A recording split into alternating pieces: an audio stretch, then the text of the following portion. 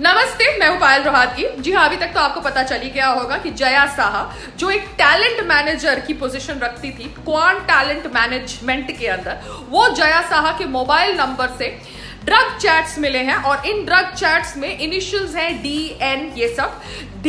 Maybe stand for Deepika Padukone N for Namrata Shirodkar K maybe is the manager of Deepika Padukone क्योंकि NCP के sources ने बोला है और news television channels ने बोला है कि these are the initials and these are the names opposite that initials शायद इसीलिए दीपिका पाडुकोन आठ नौ दिन तक सुशांत सिंह राजपूत की मौत को रफा दफ़ा कर रही थी। ये कह के कि उसकी मौत डिप्रेशन की वजह से हुई है। उसने सिर्फ़ डिप्रेशन की कहानी बेची आठ नौ दिन तक। तो वो दीपिका पाडुकोन जो सीए के नाम पर दिल्ली जलाने वालों के साथ खड़ी हो जाती है, वो दीपिका पाडुकोन जो डिप्रेशन की कहानी बेचती है अपना फाउंडेशन चलाने के लिए फाउंडेशन के अंदर फंडिंग लाने के लिए, वो दीपिका पाडुकोन सुशांत सिंह राजपूत की मौत को डिसमिस करती है एज डिप्रेशन मगर वो खुद ड्रग्स का सेवन करती है। और ये ड्रग्स के सेवन करने वाले लोगों को बचाने के लिए पूरा बॉलीवुड रिया चक्रवर्ती के साथ खड़ा है।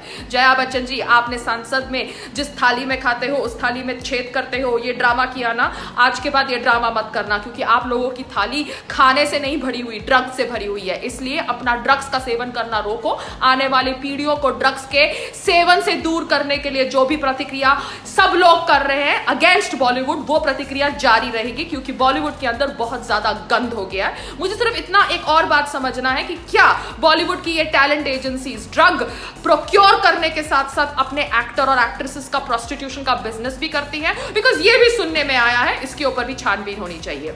नमस्ते, जय हिंद।